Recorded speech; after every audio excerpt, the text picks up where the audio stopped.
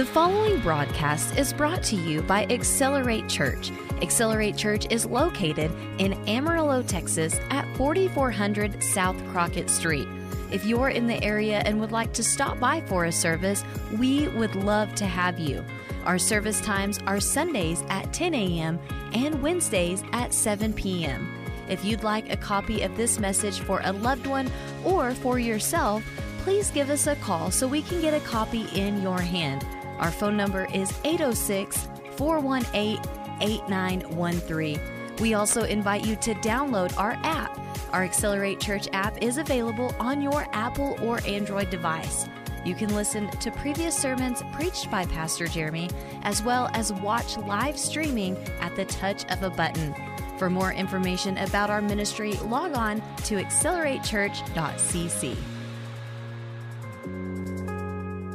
Welcome to the Accelerate Church radio broadcast. My name is Jeremy File. I'm the pastor at Accelerate Church, and we want you. We have services at 10 a.m. Central Time, also 7 p.m. on Wednesdays. If you can't be with us in person, you can always stream at acceleratechurch.cc.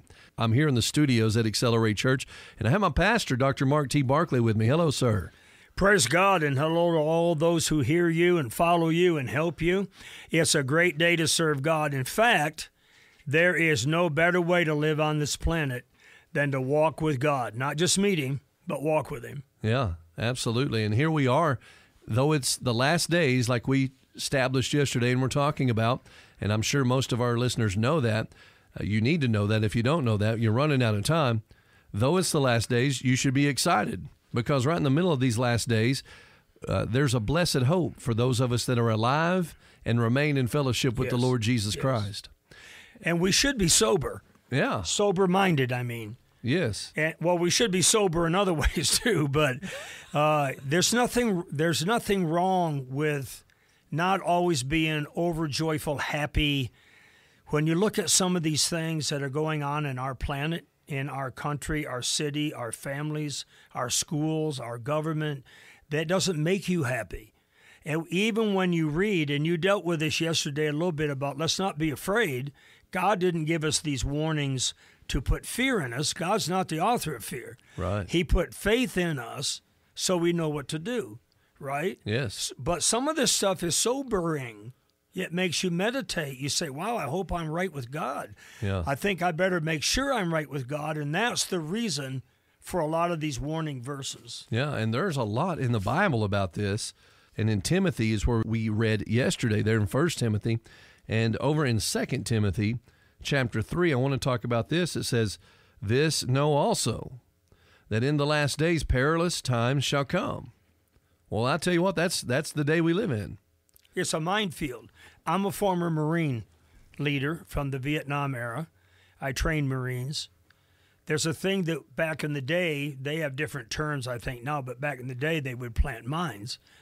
But we called them minefields. So we were taught certain fields look like they're a minefield, and therefore there could be mines, and therefore walking across this field could become extremely perilous. Mm. Yeah, one step in the wrong direction, and you not only could kill yourself, wound yourself, or the people around you. This word perilous is in there on purpose.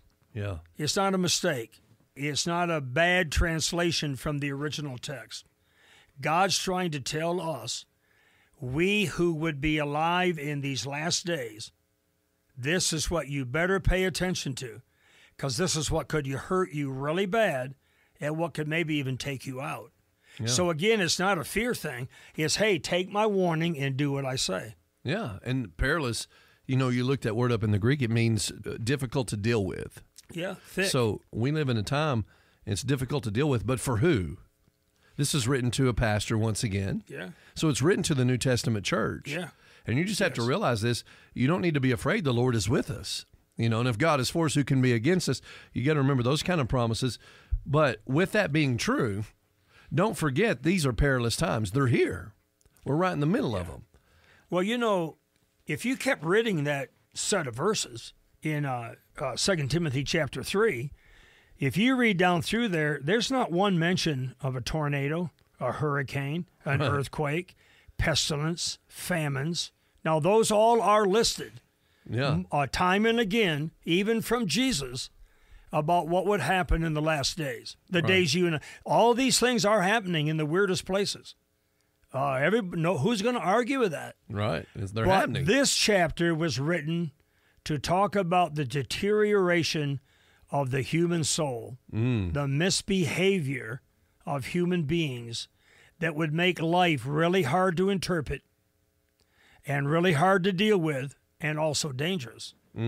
Wow. Well, and some of the things that we read here, if you don't mind me reading verse 2 for men shall be lovers of their own selves. The I am generation. It's all about them. Well, you, right now we have people marrying themselves. I'm not I mean to laugh. It's really not No, funny. they, they they really are. I'm serious. They're having now. They're just marrying. They're having holy matrimony because they love themselves. Huh. And you you don't have to take my word for this, but I don't put anybody on a search on the internet because Oh, you, you know you'll stop at the wrong bus stop, and then you'll hold me accountable for more filth and more heresy and more junk that's out there.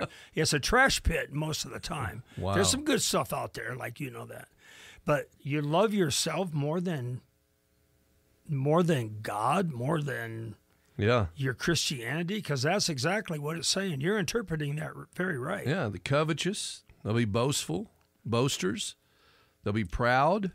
False accusers. Yeah. I mean, it's just. Oh, wait a minute. False accusers? Oh, it- Oh, Jeremy, wait a minute. Did I say false You accusers? said false accusers. Because there is so much lying and false accusing uh, on our anti social media platforms. Yes. that I'll be shocked if there isn't severe judgment in people's lives for crossing that line, just making up stuff. Wow. Well, that's that's where we live. I mean, uh, this is where we're living in America. This is what we see happening on a daily basis. Disobedient to parents, Yeah. and and here's a big one that just kind of blends in with all these. Unthankful. Now, I've seen a lot of unthankfulness. Absolutely. Now, my big, the one, when I read this, the thing that just jumps out of the page to me, now, now all of these are serious. Uh huh. So we don't say this like right now. You listen to me, you little truce breaker. We're re- you you should do the same. Jeremy and I are reading this like, oh my God, let me see if any of these traits are in my life or any of these things are creeping in Right. to the way I'm feeling or thinking. But here's my big one, Jeremy. Having a form of godliness, mm. but denying the power thereof. Some of the not I don't want this to sound like all large churches are bad, but a lot of our even bigger churches, massive churches, they have no they have no God in there hardly. They hide the Holy Ghost. They they're they're afraid it's going to offend pagans and hellbound Philistines. So we're going to redesign our church, our preaching, our music, our lighting, our buildings to please a pagan, thinking we'll attract them, Wow. but they but you won't convert them. no, You might become attractive, but to the wrong people. but you don't have any converting power. There, I call them massive hospitals. These some of these bigger, bigger, God empty churches, fake churches, placebo churches. Uh, I call them hospitals with many beds. They're all filled, but there is no medicine. No medicine, no cure, There's no cure, no help. no deliverance. And I've noticed this that there's a lot of rebellion that cloaks it- itself with a form of godliness. Have you seen things like that? Sure, it sounds accusative, and that's not our heart. Right. We don't mean to sound that way. But then again, the Bible says we judge no man to damnation. That's not our place. But it also says in the New Testament, ye which are spiritual judge all things. things. What things?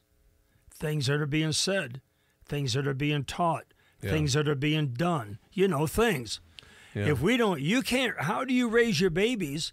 They become teenagers, and if you don't teach them how to judge properly, they won't know what car to get into and what car not to. Exactly. And we get it when we go to the grocery store. The other Yep. day, I, I went with my wife. I don't hardly ever do that. And she told me go over there and pick some pears. Well, I like pears. My kids like pears. And, you know, what kind of buffoon would I have been to go and pick all the rotten ones? Right. We get that. We get that. You know, people, well, I don't believe in judgment. I think it's wrong. Like you said, we're not talking about judging someone to hell, judging motives. We don't know people's motives. But I can tell you this I can judge fruit. That's a fact. There, we have going on a God complex. Mm. People still think they're their own God. They forget they're bought with a price. They are not their own. None of us, not just preachers, we are not our own. We've been purchased with the, the, the price of the spilt blood of Jesus. So, being that's the case, why do we have to debate the Bible? we don't debate other stuff that just happens in society. Right. My pastor for years was John Osteen. He's in heaven now. But Pastor John used to say, Mark, I can go out there and it's amazing. I can teach them the truth and they'll say, Oh, I don't know, Pastor. I don't want to be deceived. I better study that out. I don't know if I agree with you or not. He said it's so idiotic Wow. because the same people will believe a lie in a heartbeat and say, You're kidding me. I didn't know that. Man, wait till I tell my friends. They never challenge it, they only challenge God. Only God, only the scriptures, only what the pastor says. That's amazing. Uh, we're here. We're in this end time hour. You go to the next chapter in 2 Timothy chapter 4, and it says in verse 3 For the time will come, I wrote it right here in my Bible, has come, mm-hmm. Yes. when people will not endure sound doctrine, but after their own lust, they'll heap to themselves teachers because they have itching ears. so, what does endure mean? What, what, what, what- they won't endure Wow. sound doctrine? Let's capitalize a moment or two on the word endure. So, endurance here means they won't tolerate it. They can't tolerate it. They're so hmm. weak and brain feeble and soul offended that they won't endure it. They won't tolerate it. They're not going to put up with you teaching sound doctrine. Wow. They're going to say you're judgmental, you're wrong, you're you're just mean, you have no love, you have no shepherd's heart. But really, all you're doing is speaking the truth. That's the Bible in love. And that makes people angry because it says they'll turn their ears away from the truth and they'll be turned to fables. Talk to us about fables for a minute. Well, nobody turned them away. First of all, it was a decision of their own, just like it could be for you and me, to just say no. Turn. I'm turning my ears away, meaning I'm not listening to you anymore. I'm leaving the church. I'm out of here. I'm turning you off. I purposely choose to turn my ears away from those speaking the Bible. Now, That's, what truth means. On purpose thing to do to turn your ears away. on purpose. Now, a fable is not a fantasy. So maybe we want to pick this up again tomorrow. Mm. yeah, let, let's let's pick this up tomorrow. I, I hate the enemy on the wall, the clock. is yes, ticking. yes, but we gotta we gotta do And it. Let's talk about that. We'll pick up right here tomorrow. Hopefully, you're blessed by what you're hearing. Again, don't be afraid to be hearing be about end times. All you got to do is live right. If you live right, then you'll be excited to hear the message that Jesus is coming. Yeah. I'm Jeremy File, the pastor at Accelerate Church in Amarillo, Texas. I'm honored to have my pastor with me this week, Dr. Mark T. Barclay. If you'd like more information on him and his ministry, go to marktbarclay.com. That's Mark T. Barclay, spelled with a C, dot com. You can travel coast to coast all over the nation. Yes. And you've traveled all over the world in the past, and right now you're focusing on America, and we need help in America. Just go check that out. Once again, it's marktbarclay.com. Be sure and tune in tomorrow here for the Accelerate Church radio broadcast. You've been listening to the Accelerate Church radio broadcast. And if you'd like a copy of this message for a loved one or for yourself, please give us a call so we can get a copy in your hand. Our phone number is 806 418 8913. We also invite you to download our app. Our Accelerate Church app is available on your Apple or Android device. If you're in the area and would like to stop by for a service, we would love to have you. We're located at 4400 South Crockett Street in Amarillo, Texas, and our service times are Sundays at 10 a.m. and Wednesdays at 7 p.m. We look forward to meeting you very soon.